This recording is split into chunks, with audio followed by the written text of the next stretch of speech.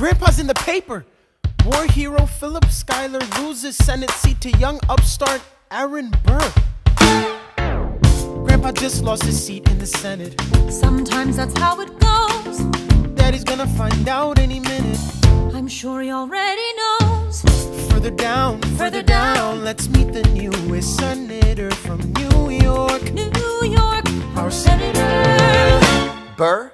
Since when are you a Democratic Republican? Since being one put me on the up and up again. No one knows who you are or what you do. They don't need to know me, they don't like you. Excuse me? Old Wall Street thinks you're great. You'll always be adored by the things you create, but upstate, Wait. people think you're crooked. The Schuyler's seat was up for grabs, so I took it. I've always considered you a friend. I don't see why that has to end. You changed parties to run against my father-in-law. I changed parties to seize the opportunity I saw. I swear your pride will be the death of us all. Beware, it goeth before the fall.